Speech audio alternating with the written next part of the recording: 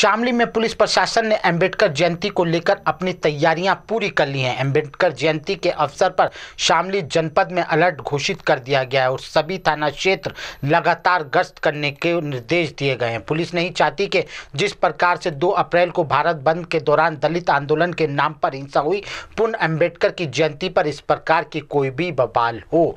दरअसल आपको बता दें कि चौदह अप्रैल को अंबेडकर जयंती है। अंबेडकर जयंती को सकुशल पूर्ण कराने को लेकर शामली जनपद के पुलिस प्रशासन ने कमर कस ली है। शामली के सभी थाना क्षेत्रों में अंबेडकर जयंती को लेकर अलर्ट घोषित कर दिया गया है। सभी थाना प्रभारियों को, अधिकारियों को निर्देश दिए हैं कि वे अपने क्षेत्र में गश्त करते रहें। जनपद के पुलिस प्रशासन की मंशा है कि जिस प्रकार 2 अप्रैल को दलित आंदोलन के नाम पर हुए भारत पर उत्तर प्रदेश के कई जनपदों में हिंसा हुई थी, उस प्रकार की हिंसा अंबेडकर जयंती पर ना हो।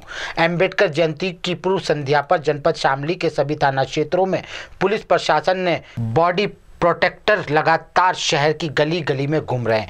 एएसपी शामली शलोक कुमार ने बताया कि शामली पुलिस अंबेडकर जयंती मनाने के लिए पूरी तरीके से तैयार है और हर जगह सुरक्षा की दृष्टि से पुलिस फोर्स लगा दी गई है। उन्होंने बताया कि जनपद में जहाँ जहाँ अंबेडकर जयंती को लेकर कार्यक्रम होंगे, उन कार्यक्रमों के संयोजक लगातार पुलिस के संपर्क में है और ये त्यौहार सकुशल, पूर्ण जिम्मेदार है।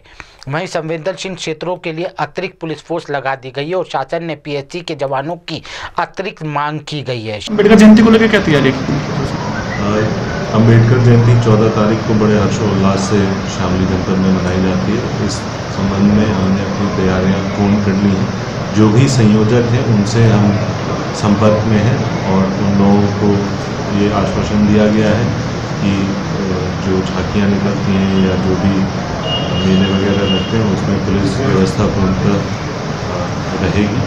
इसके अलावा जो सेंसिटिव एरियाज़ हैं, उनमें हम लोगों ने अतिरिक्त बल लगाया गया है। सादे वस्त्रों में भी पुलिस फोर्स लगाई गई है।